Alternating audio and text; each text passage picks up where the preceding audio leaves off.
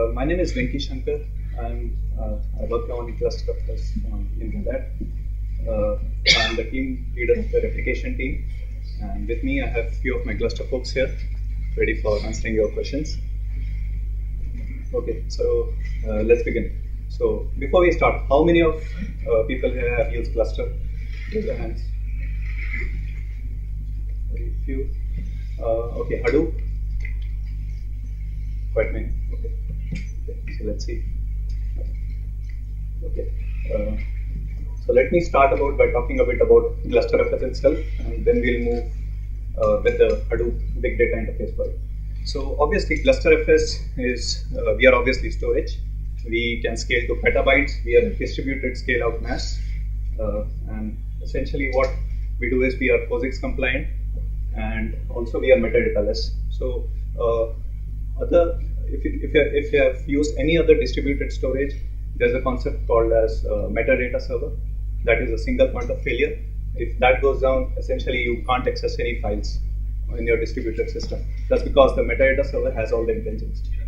So what GlusterFS has uh, a big advantage is we are metadata less, and because of that we are in a very uh, good shape. Okay. Uh, let me focus a bit about scale out and distribute feature here. Uh, so with scale out, uh, so any of you who have used GlusterFS, uh, we have different topologies in which you can uh, in which you can set up your cluster. One is a distribute, distribute, replicate, and distribute, uh, replicate, and stripe. So with distribute, actually what you do is you have a bunch of servers. You configure your cluster in a distribute mode, and your files are actually hashed to different nodes. So if you want to access files in parallel, you are actually spreading out your load on different servers. And where replicate comes into picture is when you want a fault tolerance, tolerance system in which you distribute files on a bunch of nodes and then replicate it two or three ways, depending on what your use case is. Okay. Uh, so uh, at the very top level, uh, that's what I talked about cluster GlusterFS coming a level down. Hadoop, uh, GlusterFS is also Hadoop ready. What what do you mean by that? Uh, so uh, Hadoop is actually a MapReduce framework plus HDFS. HDFS is Hadoop distributed file system. So which is basically has a centralized metadata server, also called as name node, and a, a, bunch of storage nodes, also called as data nodes. Okay. So where do we come into picture? So as you saw in the earlier slide, we are metadata less. Okay, so if you're using GlusterFS as a backend store for Hadoop, you are actually eliminating the name node, which means you are left with the client machine in which the MapReduce job runs and the storage nodes.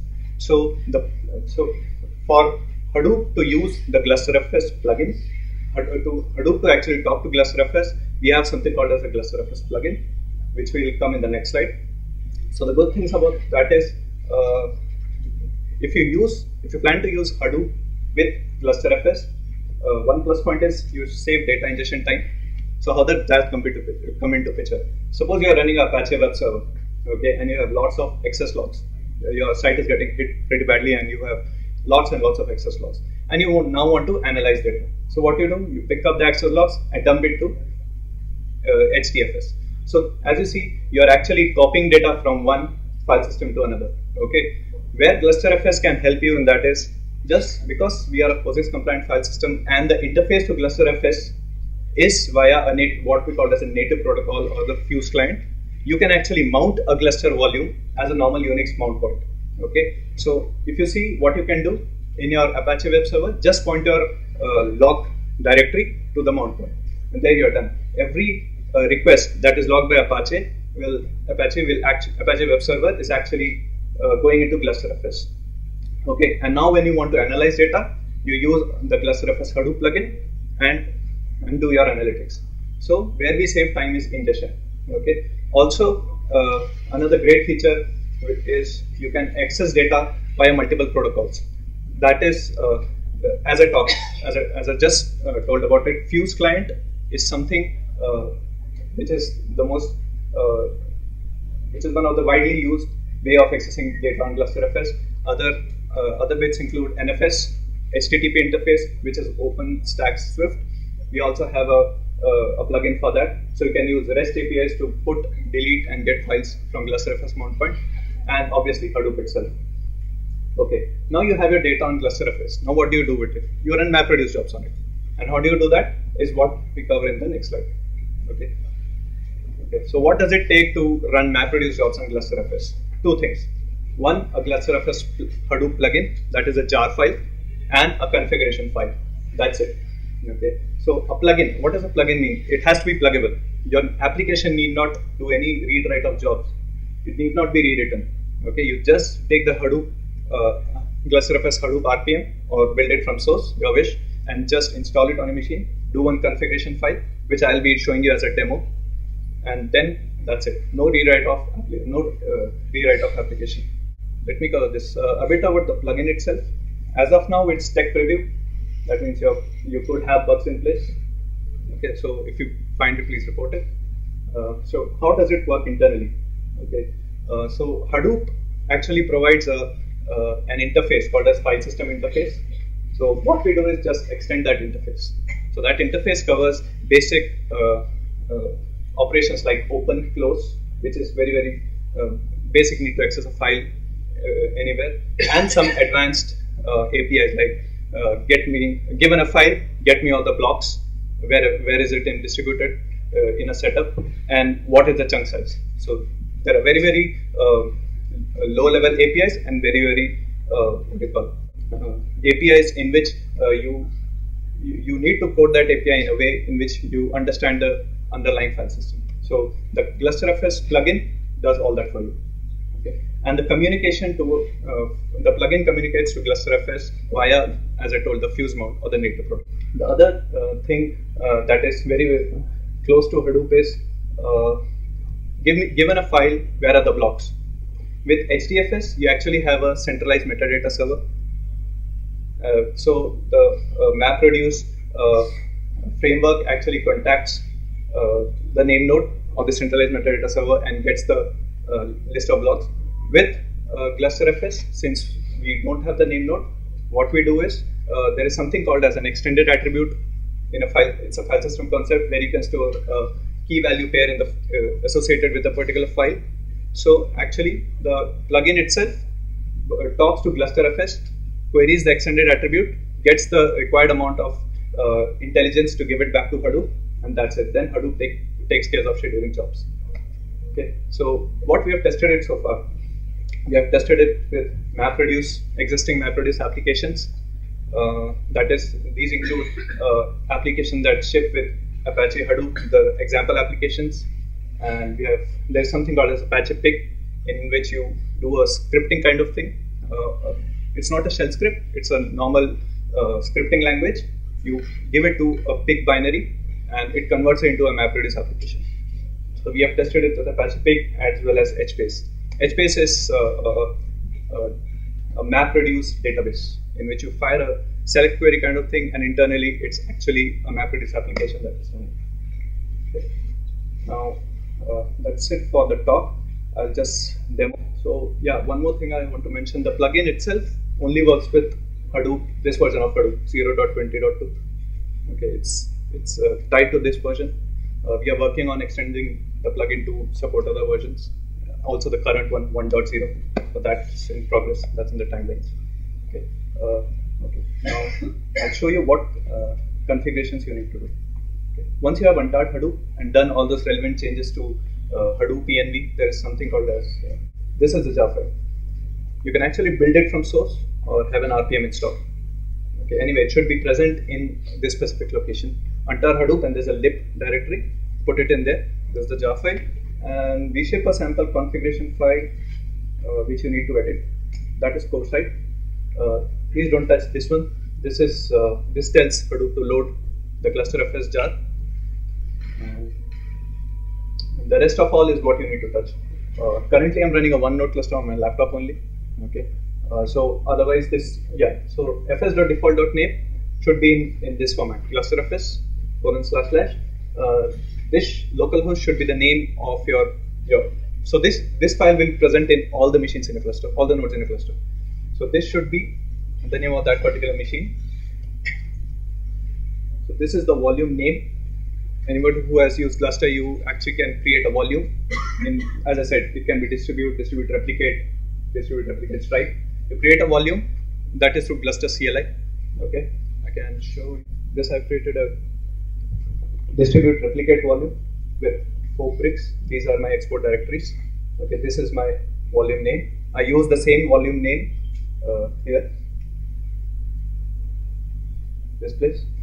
So this tells Hadoop to actually mount this volume via the native protocol, and all, you can run MapReduce jobs on the data present inside this in this volume. Okay. Next is the mount point. Because we use do a fuse mount, you need to give a mount point. This directory should be existing. That is uh, put it here. And the other final thing is this. Because it needs to do a mount, you need to give the host name or the IP address of any storage node. Okay, give it here. And this is a performance tunable quick slave IO. I'll explain this uh, currently, just leave it to off. This gives a good performance boost. Uh, that's because the way in which the uh, in which the plugin works, but we, we have seen some bugs in that, so for now just leave it for off. Okay, so you drop the jar, you do the configurations, and then you do the normal. Uh, so before that, there's MapRed site. This you anyway need to do for your HDFS thing. So this has to be pre-done with any file system input. So once you have done these, uh, what you do is you do start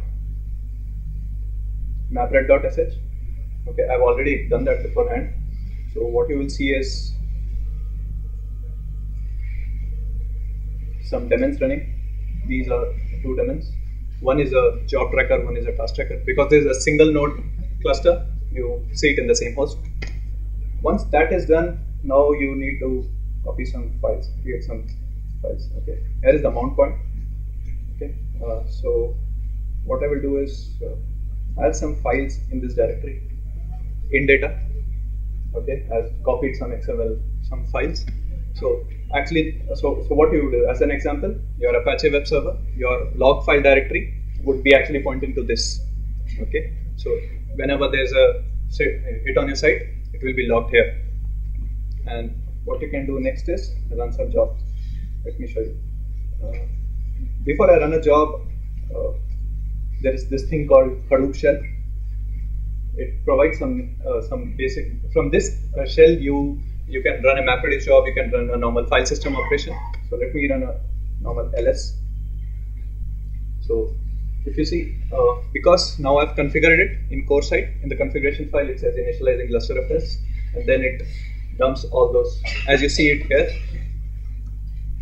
in this, you see, see the same thing there. So this is Hadoop's uh, way of reading. So once, so if you're, uh, this is the way to test out whether your configuration is fine or not. You do ls, you do cat or something, this works. Now coming to the actual MapReduce. So uh, I have uh, this. This is the example file that ships with Hadoop.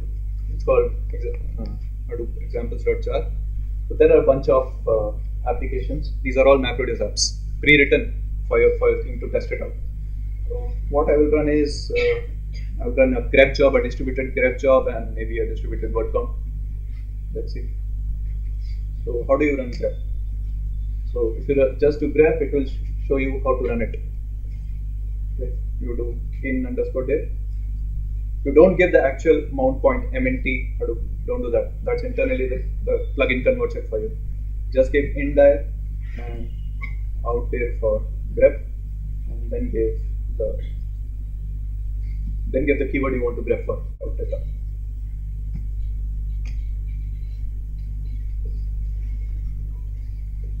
So now it's running running MapReduce. It's zero percent map, zero percent reduce, but it's using GlusterFS behind.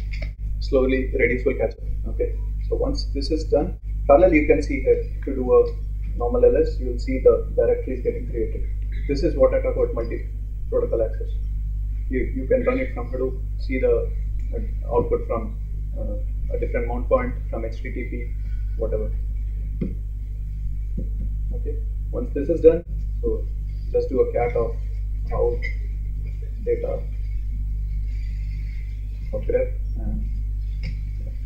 so the occurrences is eight times the Another job is called word count, word count, in, data, and out, data,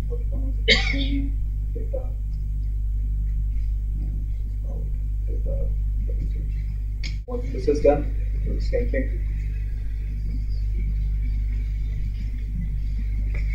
There you go. Word count of the page number five. It is the word.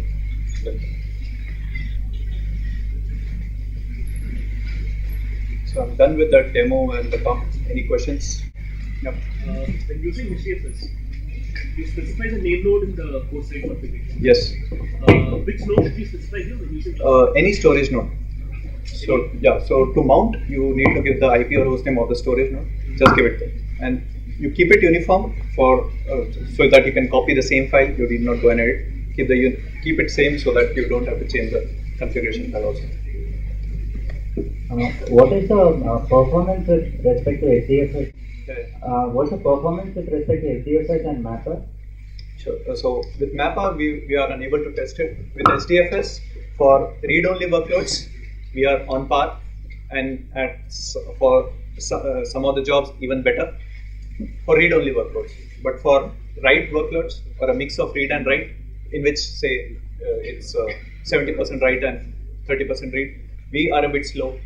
Okay, but we are working on having buffering at the plugin level to improve that. But for if your if your job is purely read only, like this grep and word count, in which mostly it's reads, reads, reads. So we are on par and even better. If you choose distribute, uh, distributed, replicated, striped volume, you are actually uh, scaling out pretty well. Yeah. Typically, uh, people would use Hadoop for data processing in a large scale data processing. So, but the data mostly resides outside. So, so there is a way to you know get get the data in. Yes. So, does does uh, GlusterFS provide any kind of uh, protocol like HTTP protocol or something like We that? have the HTTP uh, uh, HTTP access to files on GlusterFS. That's for OpenStack Swift. Uh, we uh, we have modified it to talk to GlusterFS. What you can do have that in place, and then directly you, via HTTP REST calls, you can do put, get, and even delete files. Or you can do the classic Unix way of mounting it, uh, a native mount or a fuse or a NFS mount. Or anyway, you can use this Hadoop shell too the which I told you to a FS. I can show you FS uh, like this hyphen ls. There's a hyphen put I think so, and a hyphen get hyphen cat. You can use even this. But what we recommend is either Unix, use the Unix classic Unix way of mounting it or through HTTP. It uses fuse mount. It it doesn't do JNI and load. We have a live cluster FS client coming up, but it doesn't use that. It doesn't use JNI to talk to load that and use that. It does a so if you see here, right, do a mount, it actually does a fuse mount, native mount, and uses that. So what you are seeing here, it was is what it was. Will, the plugin will see in its namespace like this. You mount it and then configure Apache to, to store log files in that.